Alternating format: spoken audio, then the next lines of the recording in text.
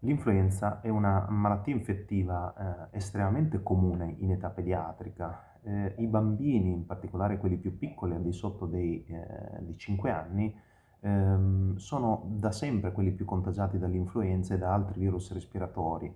Eh, e questo perché non hanno una memoria del contatto con eh, questi virus e perché frequentano le comunità eh, scolastiche. Questo sapete che favorisce la circolazione dei, dei virus. Quest'anno l'epidemia influenzale è arrivata uh, in anticipo rispetto agli anni precedenti, si è associata alla circolazione contemporanea di altri virus e questo ha um, creato non pochi problemi alle strutture sanitarie e nelle ultime settimane abbiamo avuto infatti un'impennata degli accessi in pronto soccorso pediatrico e dei ricoveri in pediatria. Uh, come si cura e come si previene l'influenza nel bambino? Il trattamento eh, dell'influenza sostanzialmente è un trattamento sintomatico con eh, antipiretici, con una buona idratazione, con il riposo.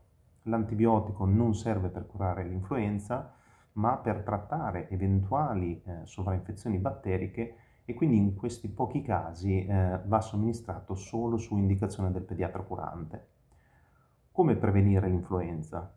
La, la vaccinazione antinfluenzale è una, un'arma efficace e sicura per proteggere dall'influenza, per contrastare l'insorgenza delle complicanze e per eh, evitare la circolazione del virus nell'ambiente familiare e nella collettività.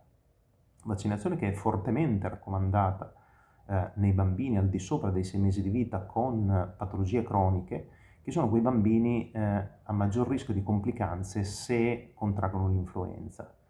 Mi preme inoltre sottolineare come la, um, l'importanza della vaccinazione antinfluenzale anche nei bambini sani e in particolare in chi vive con soggetti eh, fragili che sono a rischio di complicanze se contraggono l'influenza. Oltre alla vaccinazione, ricordo alcune semplici eh, regole di prevenzione che consistono nell'evitare di frequentare luoghi chiusi e affollati, questo vale soprattutto per i bambini molto piccoli, eh, nel lavare frequentemente le mani, evitare il contatto con persone malate, ventilare gli ambienti domestici e, e di lavoro e infine di attendere la completa guarigione del bambino prima di reinserirlo in comunità.